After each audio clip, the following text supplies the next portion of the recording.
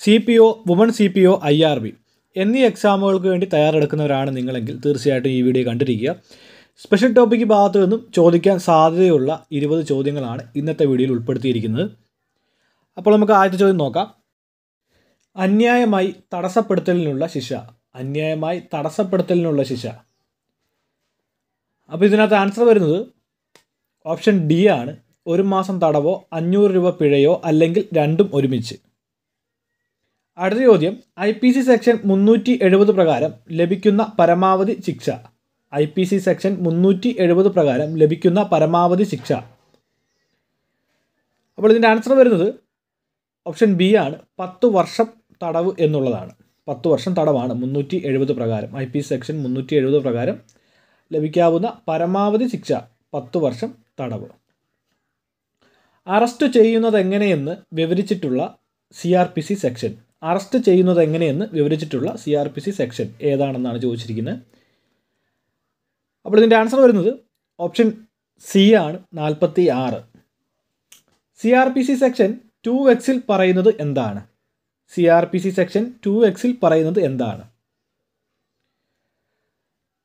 അപ്പോൾ ഇതിന്റെ ആൻസർ വരുന്നത് ഓപ്ഷൻ ബി ആണ് warrant case C R P C section two എക്സിൽ പറയുന്നത് ഓപ്ഷൻ ബി വാറന്റ് കേസ് അടുത്ത ചോദ്യം. കേരള പോലീസ് ആക്ടിൽ പോലീസ് ഉദ്യോഗസ്ഥരുടെ പെരുമാറ്റത്തെ സൂചിപ്പിക്കുന്ന സെക്ഷൻ.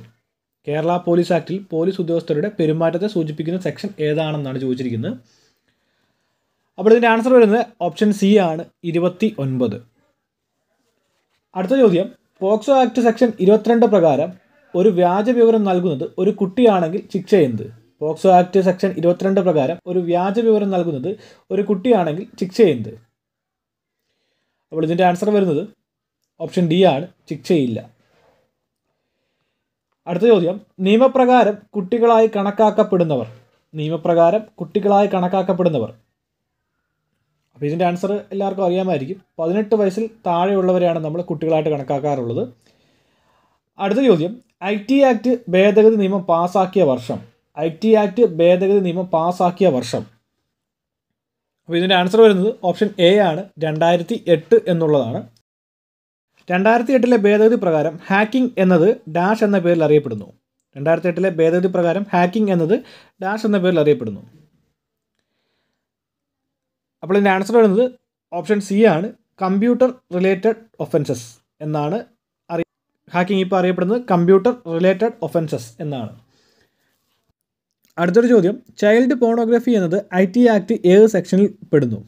ചൈൽഡ് പോണോഗ്രഫി എന്നത് ഐ ടി ആക്ട് ഏത് സെക്ഷനിൽ പെടുന്നു? അപ്പോൾ ഇതിന്റെ ആൻസർ വരുന്നത് ഓപ്ഷൻ സി ആണ്. സെക്ഷൻ അറുപത്തേഴ് ബി അടുത്തൊരു ചോദ്യം.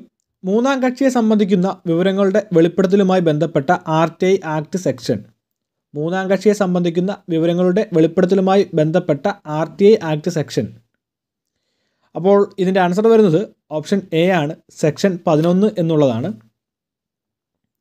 അടുത്തൊരു ചോദ്യം ഐ ടി ആക്ട് രണ്ടായിരത്തി എട്ട് പ്രകാരം അധ്യായങ്ങൾ ഐ ടി ആക്ട് രണ്ടായിരത്തി എട്ട് പ്രകാരം അധ്യായങ്ങൾ എത്രണ്ണം ഉണ്ടെന്നാണ് ചോദിച്ചിരിക്കുന്നത്. അപ്പോൾ ഇതിന്റെ ആൻസർ വരുന്നത് ഓപ്ഷൻ എ ആണ് പതിനാലെണ്ണമാണ്. ആർ ടി ഐ ആക്ട് രണ്ടായിരത്തഞ്ചിലെ സെക്ഷൻ ഒൻപതിൽ പ്രതിപാദിച്ചിരിക്കുന്നത് ആർ ടി ആക്ട് രണ്ടായിരത്തഞ്ചിലെ സെക്ഷൻ ഒൻപത് പ്രതിപാദിച്ചിരിക്കുന്നത് വിവരം നിരസിക്കാനുള്ള മറ്റ് കാരണങ്ങൾ. വിവരം നിരസിക്കാനുള്ള മറ്റ് കാരണങ്ങൾ. ഓപ്ഷൻ സി ആണ് ആൻസറായിട്ട് വരുന്നത്. അടുത്തൊരു ചോദ്യം. ഐ പി സി സെക്ഷൻ മുന്നൂറ്റി അറുപത്തൊന്ന് പ്രകാരം എത്ര വയസ്സിന് താഴെയുള്ള പെൺകുട്ടിയാണ് മൈനറായി കണക്കാക്കുന്നത്? ഐ പി സി സെക്ഷൻ മുന്നൂറ്റി അറുപത്തൊന്ന് പ്രകാരം എത്ര വയസ്സിന് താഴെയുള്ള പെൺകുട്ടിയാണ് മൈനറായി കണക്കാക്കുന്നത്? അപ്പോൾ ഇതിന്റെ ആൻസർ വരുന്നത് ഓപ്ഷൻ സി ആണ്. പതിനെട്ട് വയസ്സ് എന്നുള്ളതാണ്. അടുത്ത ചോദ്യം. പന്ത്രണ്ട് വയസ്സിന് താഴെയുള്ള സ്ത്രീ പീഡനത്തിനുള്ള ശിക്ഷയുമായി ബന്ധപ്പെട്ട സെക്ഷൻ. പന്ത്രണ്ട് വയസ്സിന് താഴെയുള്ള സ്ത്രീ പീഡനത്തിനുള്ള ശിക്ഷയുമായി ബന്ധപ്പെട്ട സെക്ഷൻ. അപ്പോൾ ഇതിന്റെ ആൻസർ വരുന്നത് ഓപ്ഷൻ സി ആണ്. സെക്ഷൻ മുന്നൂറ്റി എഴുപത്തിയാറ് A B. Option C section മുന്നൂറ്റി എഴുപത്തി ആറ് എ ബി. അടുത്തൊരു ചോദ്യം. C R P C section two C ആയിരത്തി തൊള്ളായിരത്തി എഴുപത്തി മൂന്ന് എന്തുമായി ബന്ധപ്പെട്ടിരിക്കുന്നു? C R P C section two C ആയിരത്തി തൊള്ളായിരത്തി എഴുപത്തി മൂന്ന് എന്തുമായി ബന്ധപ്പെട്ടിരിക്കുന്നു? അപ്പോൾ ഇതിന്റെ ആൻസർ വരുന്നത് ഓപ്ഷൻ എ ആണ് കൊഗനൈസബിൾ കുറ്റം. അടുത്ത ചോദ്യം ഇന്ത്യൻ എവിഡൻസ് ആക്ട് പാസ്സാക്കിയതെന്ന് ഇന്ത്യൻ എവിഡൻസ് ആക്ട് പാസ്സാക്കിയതെന്ന്.